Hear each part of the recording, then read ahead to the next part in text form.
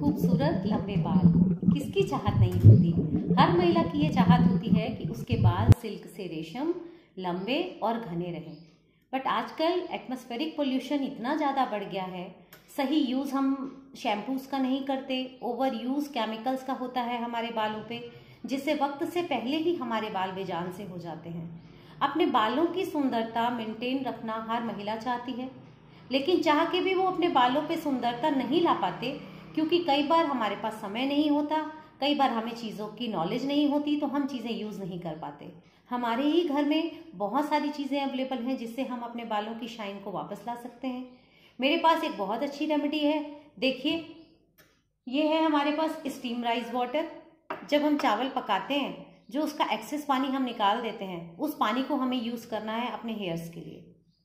उसके साथ साथ गाइज़ मेरे पास है हिबिस्कस फ्लावर आपके पास फ्रेश फ्लावर है तो आप फ्रेश फ्लावर यूज़ कर सकते हैं। अगर नहीं है ड्राई फ्लावर्स हैं तो आप ड्राई फ्लावर्स यूज़ कर सकते हैं। आप ये फ्लावर्स ले लीजिए, आठ से दस फ्लावर्स आपको चाहिए और आपका राइस वाटर इन दोनों को आप अच्छा मिक्सी में ग्राइंड कर लीजिए। ग्राइंड करने के बाद इसमें आधा चम्मच आप हनी मिक्स कर दीजिए। आपका बहुत अच्छा हेयर के लिए पैक बन गया। इस पैक को आप अपने बालों पे रूट्स पे आप बालों पे लगा के छोड़ दीजिए एक से डेढ़ घंटे के लिए। उसके बाद आप अपने बालों में शैम्पू कर लीजिए। सीरम तो आप यूज़ करते ही होंगे। इस रेमेडी को यूज़ करने के बाद आपके बालों में एक नई सी जान आ जाएगी। मगर अगर आप ये सोचेंगे कि एक बार यूज़ करेंगे और हमारे बाल बहुत अच्छे हो जाएँगे तो ये बिल्कुल मिथ है।